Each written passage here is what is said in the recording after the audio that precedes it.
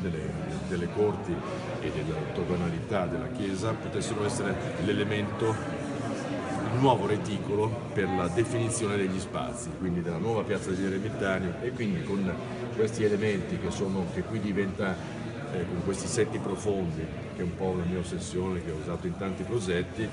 eh, che diventa una quinta, che eh, se li, li vedi eh, frontalmente sono aperti, se li vedi no, camminando diventa una quinta chiusa e delimita una piazza che se no non è una piazza perché si distribuisce in tanti pezzi. Lo stesso elemento diventa il nuovo ingresso del, del museo civico eh, dove a quel punto diventa l'ingresso dei tre sistemi, Zuckerman che al di là di, di via Garibaldi e quindi è fuori, diciamo, non può essere compreso, ma comunque il sistema organizzativo. Il portale atletico, l'arena diventa l'ingresso degli sloveni, non è più quel giro assurdo che si deve fare attraverso le corti e dietro e ovviamente il, e abbiamo poi, riprendendo un'idea di Albini, e poi adesso di, dell'ufficio tecnico, credo, del comune di Padova, quella di riproporre eh, la formazione di una, chiamiamola corte, chiostro, eh, nella parte verso via Cassano. Eh, perché nella parte di via Cassan no, è tutta una parte mezzo abbandonata, c'era un'idea e un inizio di costruzione, credo, del, del, progetto Albini e allora noi abbiamo prolungato l'ultimo, l'ultimo fronte della corte generando una porta aperta che si apre sugli orti no? di quelle che erano le case gotiche medievali di via Cassan che avevano gli orti dietro i lotti profondi del, della costruzione. L'associazione ci ha dato un'area che era limitata diciamo, a Corte della Banca, il conservatorio, la tesoreria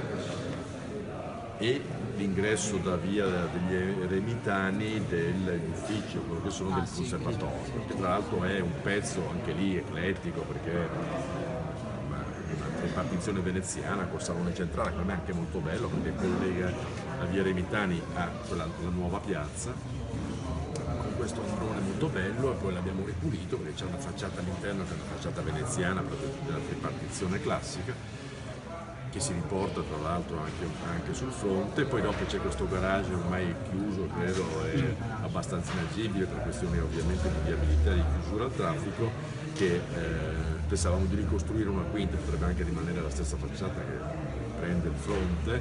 con una finestra grata che, dove dietro c'è il giardino c'è questo articolo del 69 molto bello di tutti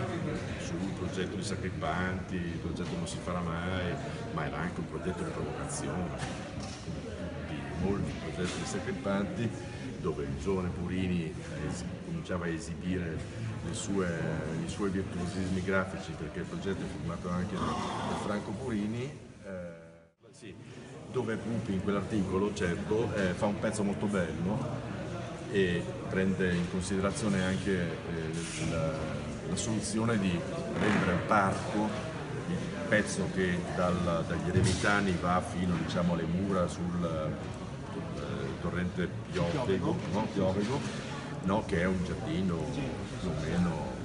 neoclassico che, che, è tipico di tutte le amministrazioni eh, di quegli anni dove crisi politica generazionale, 69, tutto quello che è, per cui che immagino ci sarà stata una, al governo cittadino la democrazia cristiana, ma indipendentemente poteva essere qualsiasi partito, l'unico modo per cedere a queste cose che cos'è? Sono i verdi e quindi cosa facciamo? Tutto ciò che è spazio libero, che è demolizione, lo facciamo diventare giardino. Ma l'Italia si costruisce attraverso piazze che sono lastricate e in tutto il mondo ce le imitano e noi andiamo, dobbiamo sempre andare a costruire. Giardini così teniamo buoni, come ovviamente sono usati, quindi apriremo un capitolo infinito perché ovviamente i migranti, ovviamente ok, ma come poi sono abitati quei giardini è fatale, è ovvio, ma questo cioè, ovviamente fa parte di un discorso che, che, è troppo lungo e, e, non si sa neanche da che parte affrontare, non è che per forza debba, essere, debba finire in quel modo, però, assurdo, è, cioè, però c'è sempre questo concetto tale per cui c'è sempre la paura che non c'è abbastanza verde per le nostre città.